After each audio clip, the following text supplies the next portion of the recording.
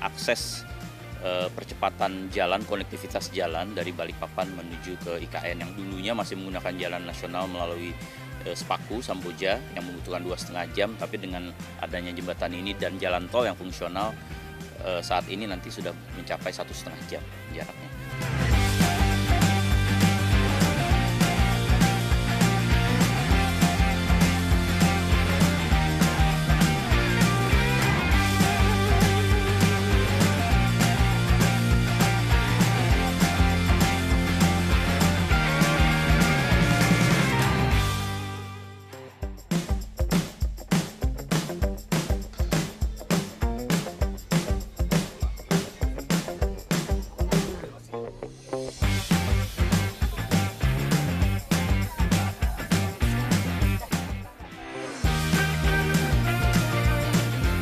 Jujur aja di luar ekspektasi aku soalnya tadinya kirain kayak ya ya gitu-gitu aja gitu kota gitu-gitu aja pas lihat ke sini ternyata IKN itu bisa jadi sesuatu yang mungkin 10-20 tahun lagi kita banggakan gitu kayak Indonesia punya IKN nih keren banget gitu kan Ya, prospek ke depannya udah kelihatan masa ya. depannya bagus iya seru-seru banget. Seru banget. Eh, bener-bener experience walaupun di, padet ya satu hari ini tapi kita semua aku rasa sepakat happy banget dan terutama begitu nyampe di IKN kayak masuk Wah, dunia amazed. lain.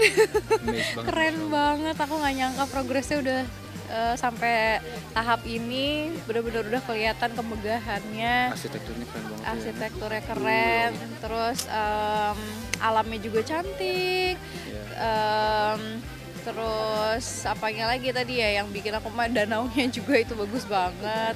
Dan Istananya- ya istana juga megah banget, ada Garuda futuristik. tapi eh, tetap eh, culture atau dan heritage Indonesia itu tetap dipertahankan. Em, semuanya sih berkesan banget ya, saya Motoran mulai. ya? Iya, Motoran bareng motoran Bapak. berkesan. Cuman Iya. sebenarnya semuanya berkesan. Semuanya berkesan. Dari awal eh, diajakin ke IKN itu juga ada suatu apa ya, suatu kehormatan dan seneng banget kita bisa ngeliat Lihat langsung. langsung gitu ya. Biasanya kan dengernya di berita, gitu berita ya. atau cerita dengar dari orang ini kita lihat langsung dan Ternyata Masya Allah keren banget tempatnya. istananya juga Bagus unik banget ya. gitu ya, unik banget yang menurutku instagramable banget. Jadi kalau ke sini itu kayak pengen foto aja gitu sama istana.